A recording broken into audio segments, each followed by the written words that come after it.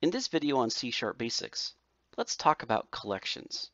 So the most popular types of collections are array, list, and collection. Now there are many other types of collections out there, but these are the most popular. These are collections that inherit from the IEnumerable interface, and that permits iteration over the items, making them the most common collection types. Now the enumerable collections, which all implement the IEnumerable interface, are most commonly implemented because of their ease of use with the for each loop. Let's look at defining an IEnumerable collection. It's pretty simple. We just have to define the object using either the IEnumerable interface or any type that implements the IEnumerable interface. So that could be a list, a collection, or an array, along with a type parameter. Then we're defining the name of the variable, called my items, and then we're assigning this one of the different types of collections. In this case, it's a new list of the same data type that we used in the IEnumerable type specification. In order to use an IEnumerable collection, we just simply implement a for each loop. And now we specify the same data type here so that each item will be of that type that's in the IEnumerable collection. Then of course, upon each item, we're going to perform some sort of code. Let's take a look at an example of a collection that utilizes the IEnumerable interface along with the for each loop. So let's go ahead and define a collection. I'm going to make this collection a type of list. And that list is going to require some sort of type parameter. We can see here list of t. So that type parameter I'm going to go ahead and say is a type of int. And I'm going to make this collection numbers. That's going to be the name of my collection. And we're going to assign numbers a new instance of the list class. And we're passing along once again int as the type parameter. And let's go ahead and leave it like that. So now that I've created my numbers variable, we need to go ahead and fill this list with some items. To do that, I'm just going to use the for loop. And for i equals 0, i is less than, let's say, 100, and then increase i each iteration. And now what we're going to do is just in our numbers list, I'm going to add, using the add method, I'm going to add the value of i. So now we have a numbers collection that is going to be the values 0 through 99 as the collection.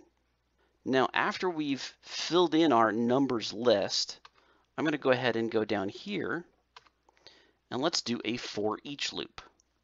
Now we know that each item is going to be a type of int and the collection is the numbers collection. Now what I'd like to do is add up each one of these numbers in our numbers list. So in order to do that, I'm going to keep a running total in a new variable. We're just going to go ahead and say is int x, and let's assign it an initial value of 0. And then for each item in numbers, we're going to add to the value of x whatever the value of item is.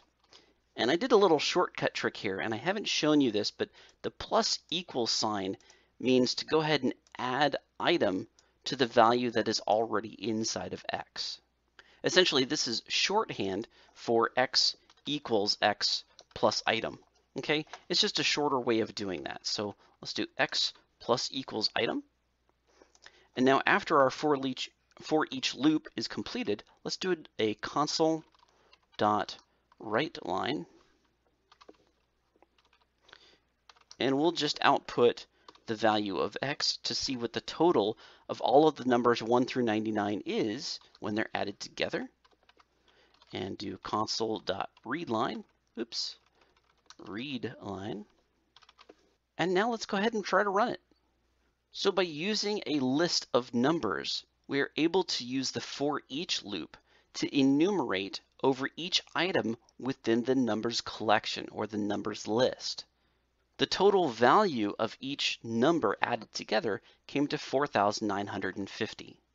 Now to show you that this list comes from an interface of IEnumerable, I'm going to go ahead and right click on list and let's go to the definition of list.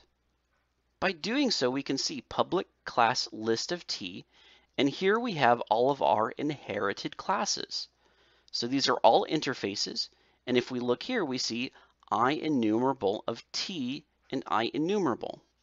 If we look at IEnumerable of t, by once again right-clicking on it and saying go to definition, we can see that IEnumerable simply implements this one method called getEnumerator. So any class that's going to have an implementation of IEnumerator t must have the getEnumerator method. Now that definition of what the getEnumerator, getEnumerator method is isn't specified in the interface. Instead, it's up to the individual classes to define how that get enumerator method works.